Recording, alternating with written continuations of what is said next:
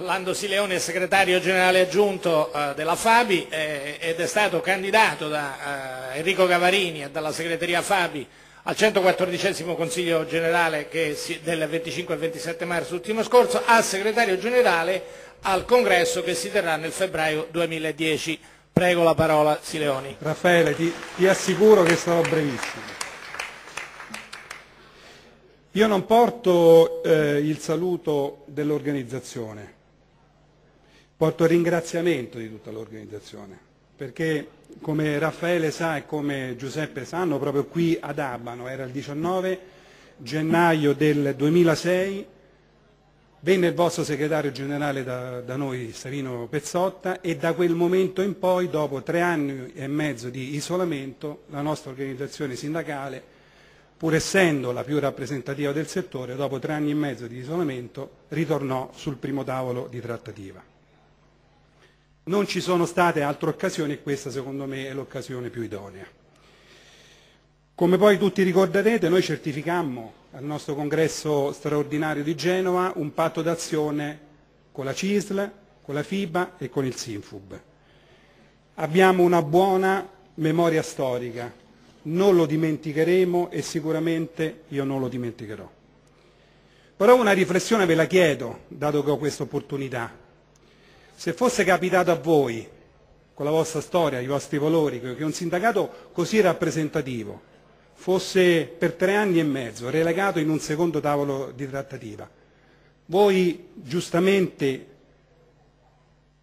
la dovevate considerare una grossa ingiustizia, così se fosse capitato alla FISAC o se fosse capitato alla WILCA. Noi è vero che abbiamo importanti responsabilità che vanno attribuite alle, alle, alle incapacità di alcuni nostri dirigenti, che per fortuna, vedo www.fiba, il congresso in diretta, speriamo che qualcuno mi ascolti, che per fortuna non ci sono più.